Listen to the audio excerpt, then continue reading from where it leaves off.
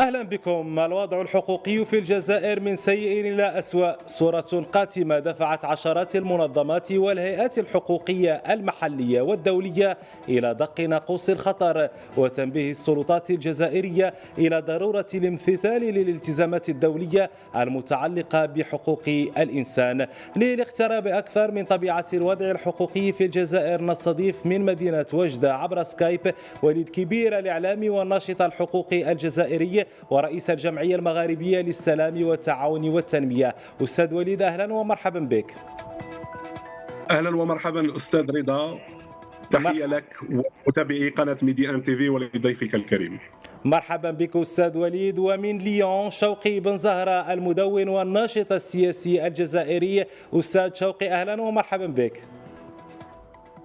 مساء الخير السي رضا تحية لك تحية لكل مشاهدي قناة Medi 1 TV وتحية للضيف الكريم أيضا. شكرا لك. ومعك أبدأ شوقي بن زهرة. يعني لسنه أخرى تتعالى الأصوات المنتقدة لما يقع في الجزائر. الجزائر ما بعد الحراك آخرها تقرير الشبكة الاورو متوسطيه للحقوق التي تمثل عشرات المنظمات الحقوقية والمدنية من أكثر من 30 دولة. شوقي بن زهرة الشبكة سجلت في تقريرها الأخير استمرار استمرار المضايقات مضايقات الشرطة وترهيب النشطاء في الجزائر. من خلال متابعتك كيف يبدو الوضع الحقوقي ووضع الحريات في الجزائر ما بعد الحراك؟ خمس سنوات بعد بداية الحراك الشعبي في الجزائر والمسيرات الضخمة التي كانت بداية من فبراير 2019 الوضع لم يكن بهذه السوداوية ربما منذ السبعينات صراحة في الجزائر. يعني نحن نتكلم هنا على مئات معتقلي الرأي على الأقل 300 معتقلي رأي في قضايا مختلفة يعني منهم من تكلم عن الوضع السياسي منهم من يتكلم فقط لمجرد لأن الأوضاع السوداوية وصلت إلى درجة أن الكلام حتى في ظروف وفي أوضاع الاجتماعية الكارثية للمواطن الجزائري والتي تعيشها البلاد. صار من المحرمات اليوم في ما يسمونها الجزائر الجديدة والتي ليست إلا صورة أكثر سوداوية من سابقتها الجزائر القديمة. يعني الأوضاع حالة الذعر وحالة الرعب التي تملكت النظام الجزائري بخروج المسيرات المليونية في منذ فبراير 2019 جعلت يعني النظام وجعلت النظام العسكري الذي كشف عن حقيقته. يعني تلك المسيرات أجبرت أن النظام العسكري يخرج إلى العلن وصارت حتى الاختباء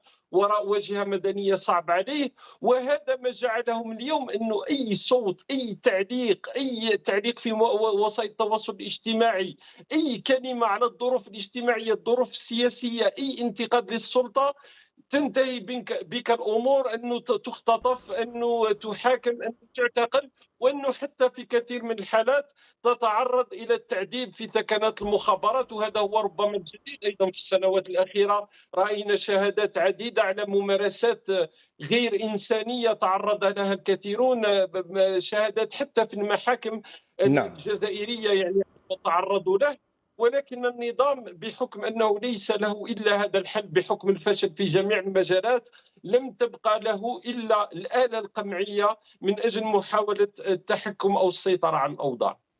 طيب وليد كبير في ذات السياق الشبكة الأورو متوسطية تتحدث عن مناخ من الرعب والترهيب وهذا ما أشار إليه قبل قليل شوقي بن زهرة.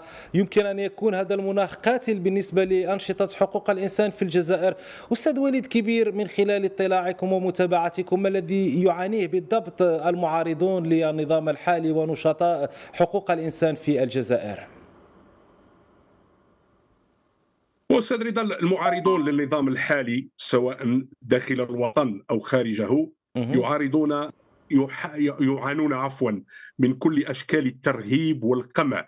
إذا تكلمنا على الداخل الآن الداخل حتى يعني أولئك الذين ارتموا في حضن النظام ويروجون يروجون له طالهم القمع يعني فما بالك ما يتعرض له الجزائريون الذين وأنا أوافق كلام الأخ شوقي بن زهرة الذي قال هناك لم يتحدث عن السياسة تكلم على يعني معاناة اجتماعية معاناة اقتصادية يعني وطالهم طالهم القمع. قلت طال القمع يعني أولئك الذين ارتموا في حضن النظام. نعطيك مثل النائب برلماني جرد من حصانته البرلمانية لأنه انتقد حجم الفساد المهول في في ولايته. هذا الترهيب الذي يطال حاليا مجموعة من الجمعيات الحقوقية نخب سياسية فرض عليها التوقيع على تعهد بعدم الحديث. يعني هناك أسماء سياسية معروفة لا, نعم. لا, لا نراها الآن في الإعلام. لا تستطيع أن تتحدث حتى عبر وسائل التواصل آه، الاجتماعي. يعني تم فرض عليها قيد وتم قمعها. أما المعارضون اللي راهم في الخارج